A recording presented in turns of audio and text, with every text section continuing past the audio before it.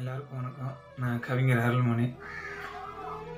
ஒரு சில தனியார் மற்றும் அரசு பேருந்து ஓட்டுநர் மற்றும் நடத்துனர் அண்ணன்களுக்கு.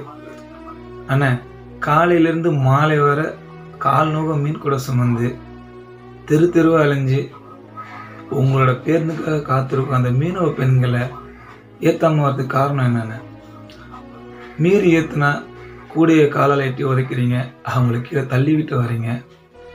ஆனால் நீங்கள் எப்படி உங்கள் பிள்ளைங்க நைட்டு தூங்குறதுக்குள்ளே நாங்கள் வீட்டுக்கு போய் சேரணும்? பிள்ளைங்கள பார்க்கணும் ஆசையாக நீங்கள் சீக்கிரம் வீட்டுக்கு போவீங்களோ? அதே போல் தானே பள்ளி முடிஞ்சு தான் பிள்ளைங்க வீட்டுக்கு வந்திருப்பாங்க பசியோடு இருப்பாங்க. நான் தான் போய் சமைக்கணும் அப்படின்னு நினச்சி உங்கள் பேருந்துக்காக காத்திருக்கோம் அவங்கள ஏற்றாமல் வர்றது எந்த வகையில் நியாயம்? நீங்கள் தள்ளி விட்டு எட்டி உதச்சி வர்றது அவங்கள மட்டும் இல்லைண்ணே.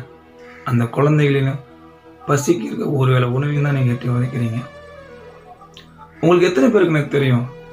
கடலில் உயிர் பிரிந்த ஒரு மீனவரின் மனைவி தான் அங்கே தெரு தெருவா கால் நோவு மீன் கூட சுமக்கிறாங்க. இனியாவது அந்த மாதிரி சேலைகளை வந்து தடுத்துருங்கண்ணே. உங்களை வேண்டி வணங்கி கேட்டுக்கிறேண்ணே. நன்றிண்ணே.